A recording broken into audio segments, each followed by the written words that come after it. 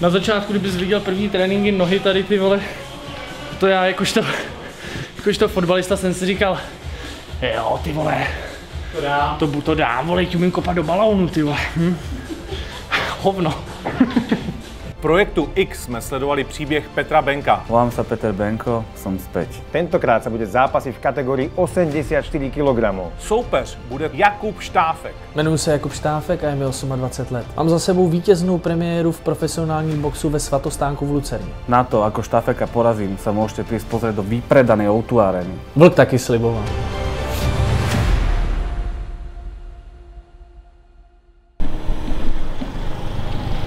Vítajte zase v projekte X. Benko versus Štáfek. Máme tu ďalšiu epizódu a ja sa momentálne nachádzam v Tajsku, konkrétne na Pukete, v blízkosti Tiger Gymu, toho legendárneho, kam chodia všetci zápasníci trénovať. Nelen z Octagonu, z UFC, M1 Global, ACB a tak ďalej. A samozrejme aj Peťo Benko, Ilia, Ronny Paradise, Attila Vek a tak ďalej. Všetci sú teraz tu. Pirát Krištofič, Lajos Klein, Jakub Dohnal, eh, Karol Ryšavy a Braňo Zuzák. Dúfam, že sa nikoho nezabudol. Takže je tu plno. The Notorious, Peter, Mr. Neruda. Benko. Čau. Čau. Má táto Happy Cottage niečo spoločné so slovom Happy Ending, ktoré sa používa v Tajsku? Vodaj by to tak bolo. Ale nemá to na nič spolu spoločné. Ty mi povedz, ty si tu dlhšie. Dneska budú lapiky staré matere, takže uvidíš môjho trénera, ktorý ma učí techniku, rýchlosť a aby som to hlavne fakt technicky všetko správne kopal a nedával zbytočne silu do toho, keď to kopem zle, aby to bolo rýchle, presné a uvidíš, nechaj sa prekvapiť. Čiže je tu ten nejaký zabijak, pán Miyagi? No, volá sa, že Fan. To je jak Fan Phone od Fan Radia.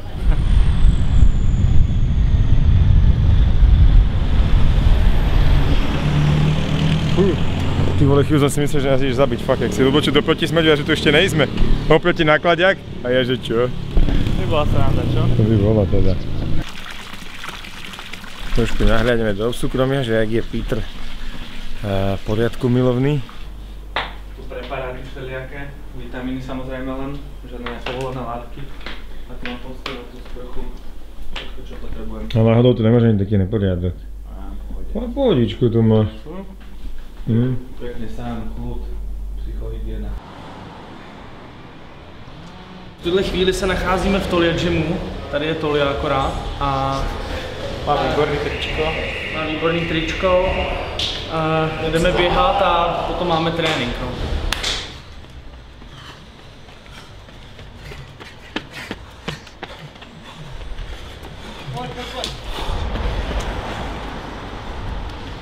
Kde je Kuba?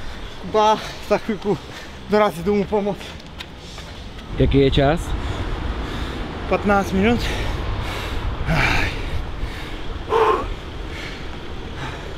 Jak to jde Kubovi? Jak je na tom s fyzičkou? No na míču. Má malou kapacitu. Tři a půl za 15 minut. No pojď, už tady čekáme, dones to pití. Pojď, pojď, pojď, pojď, pojď, pojď, pojď, záber, záber, záber, záber, ještě. Pojď, dělej. Dobrá. Já na vás křičel! Já jsem si potřeboval zaběhnout pro Teragan. Já jsem byl pro tebe ještě jednou pak dolů. Jsem tě neviděl. Proto jsi zaběhnul? Pro Teragan. Co je? To je taková masážní dobrá věc. Já jí měl v gymu. Myslím, že jsi tam skolaboval, vole, a šel koupit pití. Ne. Yeah. Chceš něco říct, Pepo? Jak se máš, Pepo? Tady jsem začal chodit vlastně na box k Filipovi Míňovskému, s tím, že to tady kluci mají stolu společně. A teď vzhledem k tomu, že jsme museli přidat i nohy, tak, tak chodím sem na postoj. Ale Tolia má hroznou výhodu v tom, že on taky holduje grapplingu a taky se rád tahá, takže máme kolikrát tak jako komplet. Hlavně to mám za barákem, takže v rámci toho času je prostě dobrý ah, se tady několikrát objekt. Pan Tolia je, vole, Terminátor. To bych neměl říkat, už má někdo, vole, copyright na to, ale... To je robot. toto je taká ulica, kde najviac vyšportovaných belochov stretneš Aj na Černochov svete. s dredami, vidíme. Aj Černochov s dredami. Oj. Je tu, je, je tu všeho chuť, sú tu z celého sveta fajtery, takže nejakí Nóri, Fíni, Švédi, Poláci, Nemci, Američania, Novozélandiania, fakt je tu všetko. Peťo tu má veľmi sympatického trénera, lebo niektorí lajdáci vidíme hentam a vidíme aj Braňa Zuzáka, tam sedia a fajčia, tí tréneri. Fakt. Kdežto Peťov tréner fakt je zodpovedný, mi dojde a hlavne tiež vie mučiť, čo sa mi veľmi páči. Čert. Čert. Povedal by si to niekedy pred, ja neviem, 8 rokmi, že teraz tu budeš chodiť a trénovať a pripravovať sa na veľké zápasy? To asi ani moc ne, no. Ale život je nevyspytateľný. Že? Aspoň vidíš, koľko sa toho dokáže za krátky čas zmeniť. Na tých e, lapách sa skôr človek vybuchá, ale zase nech si to človek nemýli s tým, že, že tie lapy neuderajú naspäť, lebo tu ten tajec vám hneď kopne, alebo vás odkopne, takže tu tie lapy aj dávajú úder naspäť. To je vlastne ten rozdiel medzi nejakým klasickým lapovaním a týmto, že aj vás môže podkopnúť, aj odkopnúť. Tak, ale teraz vlastne Peťo hlavne potrebuje sa troška tak vybuchať, vykopať, tak tie lapy sú úplne na to ideálne. Druhý žebro mě vyhodil, asi měsíc jsem byl nefunkční. Ale jako, to nechci, aby to znělo tak, že jsem hustý, to byla strašná náhoda, počkej, no. Jsme se tahali na zemi, jsem se přetočil, no a Kuba zbrkle úplně celou váhu, skočil mě na záda a vyhodil mi to hned. Bylo raz, dva. Když ti dám pravou, chytáš to pravou ze spoda. Bum. Teď mě vyhodíš tamtou rukou a stejnou rukou mě nabombíš. Nevadí, pojď, ještě jednou. Uf. A Dej mi nohu. Tu druhou. To ne, musí být tah pro tvoje, abys to nabil. Jo. Uf. Ano. Tohle si říkal, že obecně vůbec pochybuje, že vykopal. Já taky pochybuju. To je věc, kterou může kopnout. A jo, Kloubík nebo jsem pušku. připravený na všechno, neřešme, co může a nemůžu. Dělal jsi kolem ještě tomu, přímo dolů. Ahoj, lásko. Ahoj. Lásko. Koho to je láska? Pět, jo. Pět vědíků. Čau. Asi jeho láska, ne? A moje se na mě zatím nikdy podívat nepřišla, ale si ji vyhodím. Jak to, že nepřišla nikdy? A jo, přišla. Byla na zápase boxu se podívat. A myslíš, že přijde na tenhle zápas? To musí. Možná. Si ji nevyměním do té doby. To umíš číst, vidíš, když se napsahuju, jo? Stojíš, hop, bim, ano. Ruku drž t- t- t- vzdálenost. Ano. Nezvedej to tolik tělem nahoru. jo, jo, jo, jo, jo. Ano.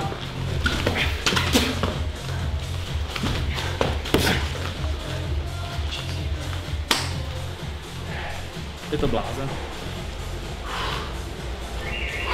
No, kopací technika celkem ti jde? No, ty nohy jsou strašný, ale lepší se to.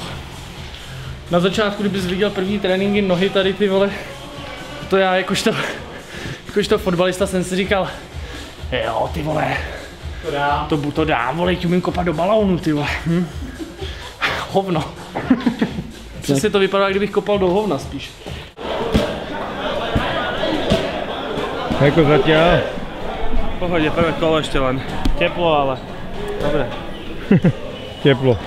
Teplo jak v ríti. Koľko kol pôjdete, tak chodíte za jednu lekciu? Neviem, 5 minútové mi myslím, že dáva, takže ešte nejakých 6-7. Potom umreme do čista.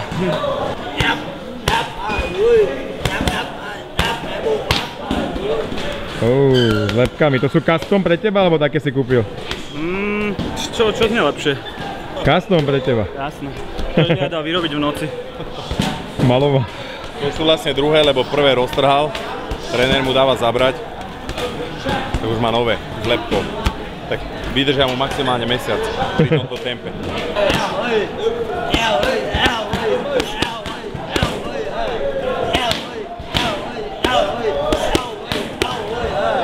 Čo je na tom najťažšie? A vlhkosť a teplo, to je extrém. U nás stále zima, vieš, v pohode, ale však chodíš na lapy. Vieš, že táto vlhkosť ťa odjebe hneď.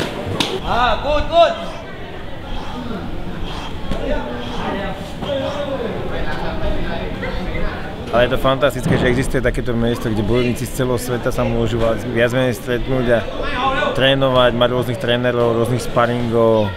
To je úžasné, kam tie bojové športy sa vlastne prepracovali. To je fantázia. To ešte dobré a skvelé nás čaká. Čo je na tom najťažšie v tom celom to zažiť? Niečo také, jak lápovať saune, kde je 100 stupňov. Úplne prehriate telo, úplne hra na možnosti a ideš 5 minútové kola. Potom brúšaky, kliky a zase 5 minútové kolo, brúšaky, kliky, 5 minútové kolo. A len ten malý chlapček váži 50 kg, len nadržaný, niečo robí. Takže, vieš, on je zvyknutý žiť tu malinký opičiak, takže nemá šancu, ťa zničí úplne, jak bežať na to Big Book, možno 10 km, keď niekto má 150 kg beží, 10 kg v teple. Je čo podobné, úplne už v polke som myslel, že umrem. Už pozeráš, odpočítavaš sekundy, tie kola nemajú 5 minút, ale máš pocit, že majú 50 minút. Tak náročné, ale len takto to posunieš zase niekam ďalej.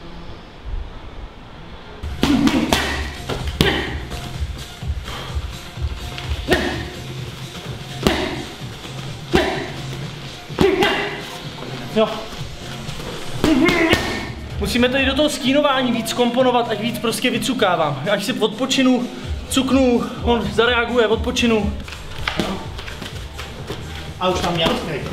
Přesně, jakmile šlápneš, už víš, že musíš vystartovat, že už tam není čas kam utíkat dál.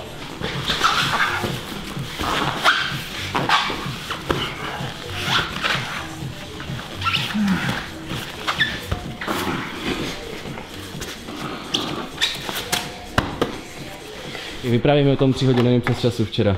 Co se stalo? Omlouvám se DNA Production za to, že jim to řeknu, ale nic, nová režisérka, super holka, připravená, nakreslený. Fakt jako nebylo to její chyba, všechno v pohodě. Ty vole, ale měla kameramana, který si podle mě ráno vole, musel dát vole rohypnol nebo ketamin vole pro koně, ty vole. Protože ty vole, to byl slow motion vole, jak hovado. To byl, ten se příjmení jmenuje Lenochod, podle mě. Bylo strašný, takže proto jsme měli tři hodinový přes čas, no.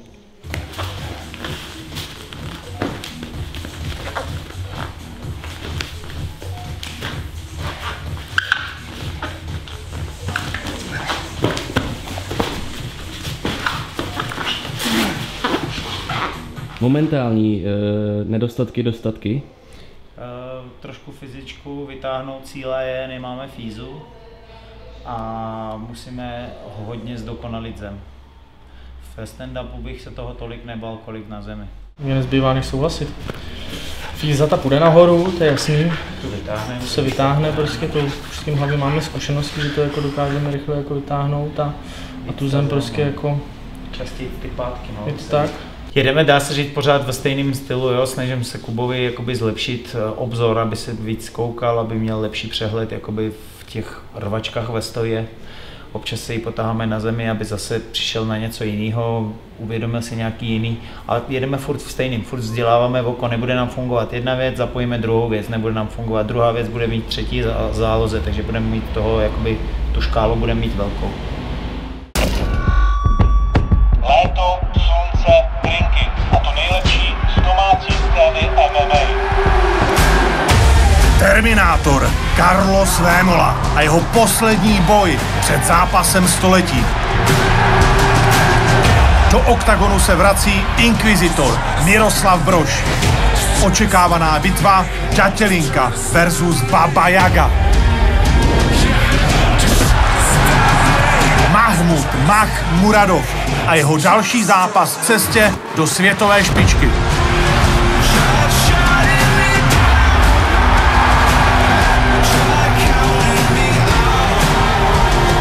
Štvanice, už po třetí, nezapomenutelný letní zážitek.